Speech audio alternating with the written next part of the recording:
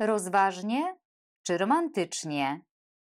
Rozsądek i rozum podpowiadają, że romantyzm lepszy jest w literaturze, a w życiu lepiej kierować się umysłem. Ale człowiek, istota ludzka, czasem potrzebuje emocji, porywów serca i szaleństwa uczuć. Pomyśl i wyobraź sobie poetę o romantycznej duszy.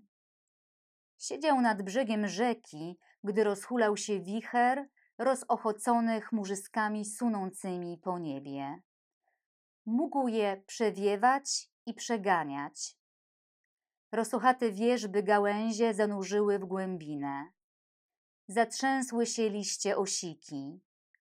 Rósł huk, szum i trzask łamanych łodyg i łodyżek. Narastał niepokój w atmosferze. Powietrze było ciężkie i duszne. Napęczniały pąki kwiatów, by pęknąć po chwili i wystrzelić różnokolorowymi płatkami. Przyroda oczekiwała na tę jedną chwilę, na ten jeden moment. Pszczoły bzyczały, ptaszki świergotały, zwierzęta porykiwały. Wszystko wrzało.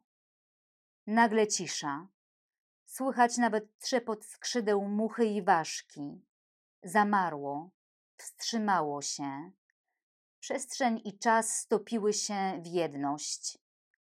Chwila oczekiwania i wtem z głowy poety wystrzelił najromantyczniejszy wierszowy wers.